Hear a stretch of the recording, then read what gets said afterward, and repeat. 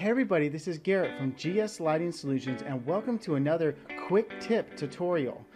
On this episode, I want to show you how to create a custom palette on the ChamSys MagicQ PC. Let's get right into it. So now I want to show you how to create a custom palette. This is very useful um, if you're wanting to create a specific color for any kind of event.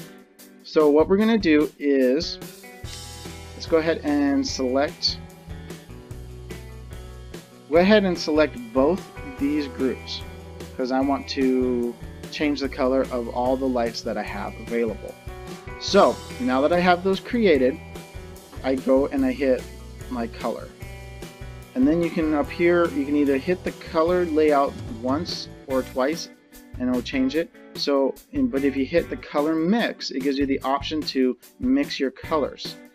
Um, what this is very useful for is getting that specific color that you need.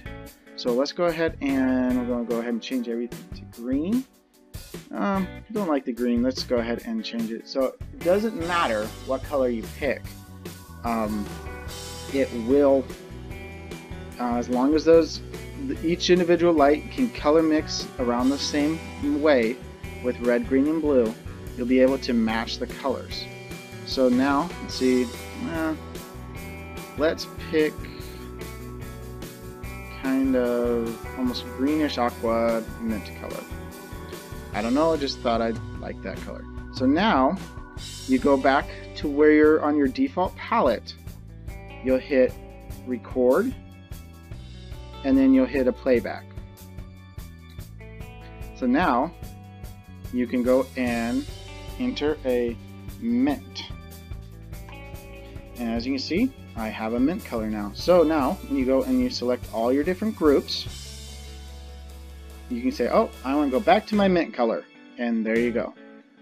And you can do this with all the different types of elements. Um, you have the position element, you have beam element, you have tons of different elements. You have multiple other layouts in your layout 2 and layout 3 um, if you wanted to create profiles in those.